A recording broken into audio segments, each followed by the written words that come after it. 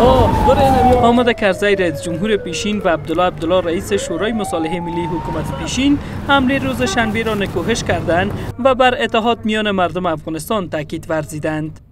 نجات کشور از رنج و درد را در اتحاد و اتفاق همه افغانستان می دانم و برای ایجاد صلح و ثبات دائمی بر آغاز گفتمان ملی مجدد تاکید می کنم.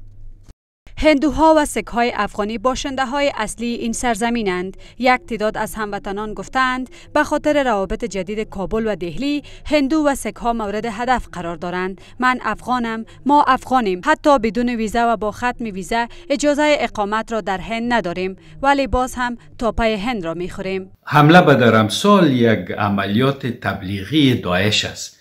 پس از اظهارات اعضای حزب حاکم در هندوستان درباره پیامبر اسلام و پس از اینکه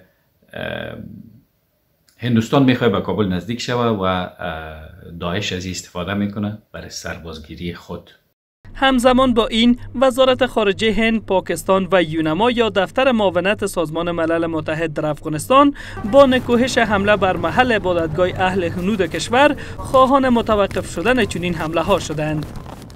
ما اوضاع را از نزدیک دنبال می کنیم و اولین نگرانی ما سلامت و آسایش جامعه است.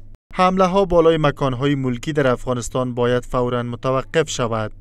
یونما خواستار حفاظت از اقلیت ها به شمول سک، هزاره و تصوف در افغانستان است. هدف قرار دادن اماکن و عبادتگاه های اقلیت های مذهبی بیانگر رشد افراطیت در افغانستان می باشد. لازم است که امارت اسلامی هرچه سریعتر با افراطیت و گروه های افراطی مبارزه جدی نماید. در حمله بر محل عبادتگاه اهل هنود کشور دو تن جان باختند و هفت تن دیگر زخم برداشتند تا اکنون هیچ فرد یا گروه مسئولیت این رویداد را بر عهده نگرفته است.